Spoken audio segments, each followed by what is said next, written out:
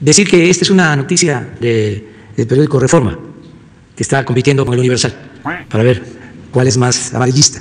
Sin embargo, eh, son muy insensatos.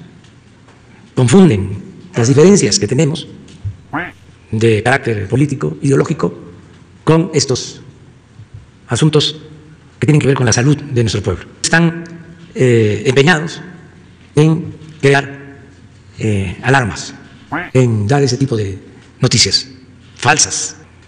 Decir de que México es el primer lugar en letalidad en América Latina es una falsedad.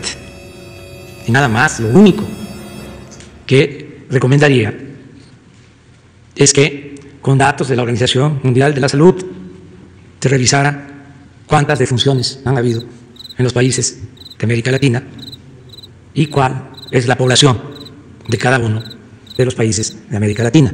Ojalá y cambien de parecer, porque la verdad es diario, un día sí y el otro también, con esas notas, sin apego a la verdad, y todo es por su enojo, porque les molesta la transformación, quisieran mantener el mismo régimen de corrupción, de injusticias, de privilegios, pero se debe de entender que estamos aquí porque así lo decidió la mayoría de los mexicanos. Y estamos llevando a cabo una transformación que se anunció desde la campaña.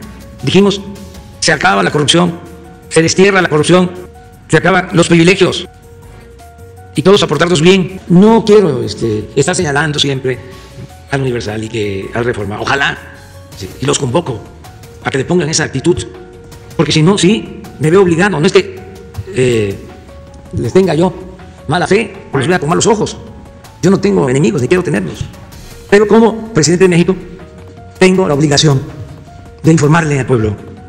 Existe el derecho del pueblo a la información. Entonces, si yo dejo pasar una noticia falsa y luego otra y otra y otra y otra, pues es vivir en la confusión, en un mundo enrarecido. Ojalá y haya un cambio de actitud.